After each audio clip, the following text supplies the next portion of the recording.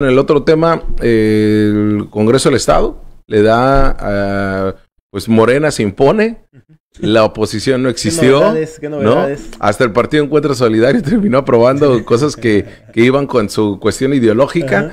y pues sí, eh, termina siendo un sistema estatal anticorrupción que le quitaron los ciudadanos y por otro lado el tema también importante de este, la ley de amnistía, que, que ayer pues, eh, lo señalábamos como lo positivo de esta legislatura, pues terminaron imponiéndose con un Blasquez que parecía más coordinador de la bancada del PAN, ¿no? que los llamaba a votar y los llamaba tal. Los países callados, ¿no? Sí, y, Blasquez ya ni el Pete ni Morena lo quiere y ahora ya se va a ir al PAN, ¿no? El- Tenía muy buenas amistades con algunos eh, de al- ex- exalcaldes panistas, ¿no? todo en lo su con- momento. oye, todo lo contrario Oscar Vega Marino. Sí.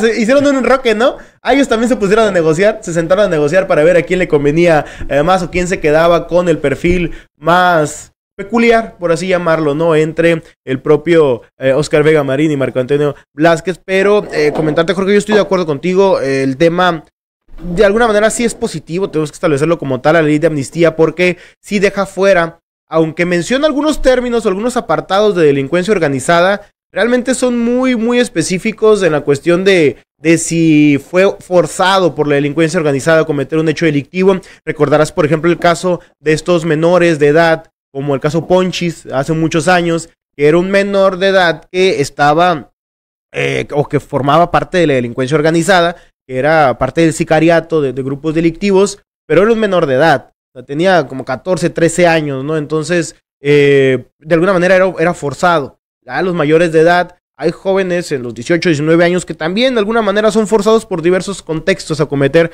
hechos delictivos ligados a la delincuencia organizada. Entonces, eh, era algo positivo realmente. eh, faltaba ver los detalles de la propia ley de amnistía para que no se metieran goles o, o errores u omisiones que de repente ocurren.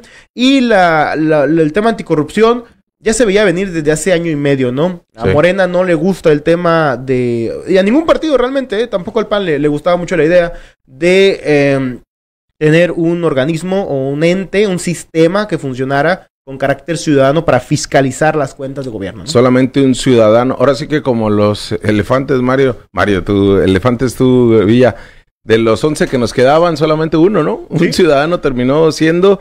Y, y, eh, como el PAN en su momento quería hacer, Kiko, ¿eh? quería hacer lo que quería con el sistema anticorrupción. Bonilla hizo lo que quiso. Y ahora el marinismo también hace lo que quiere con el sistema anticorrupción. Se cumple una sentencia de la Suprema Corte de Justicia de la Nación, pero pues bueno, va a ser en detrimento de eh, la ciudadanía. Esperemos que esto se le dé un viraje, porque ahora están obligados a nombrar, ahora sí, al fiscal anticorrupción, al magistrado anticorrupción, al titular del órgano interno de control y van varios asignaturas pendientes que se tienen en esta lucha.